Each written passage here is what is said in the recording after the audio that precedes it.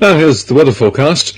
The night will be fine and cold with widespread ground frost, the air temperature falling to around 1 degree centigrade.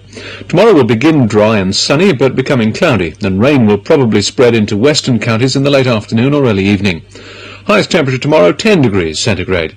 Winds will be light westerly tonight, force 3 to 5 at sea. Tomorrow winds will be southerly, light at first, becoming fresh or strong. Over the sea, force 3 or 4, increasing to force 5 to 7. That's the forecast. In company tonight, Ken talks to Bridget and her husband Adrian. We're the time at 19 and a half minutes to 1 o'clock.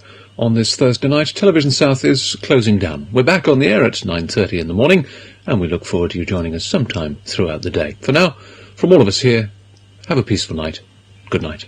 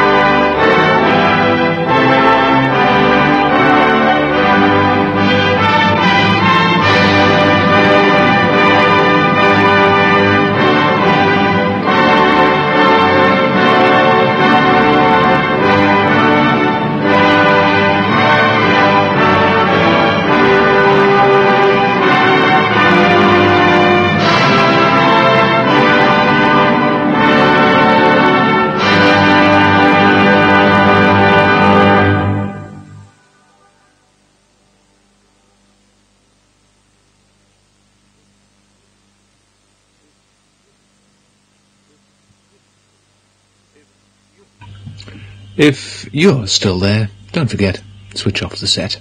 Good night.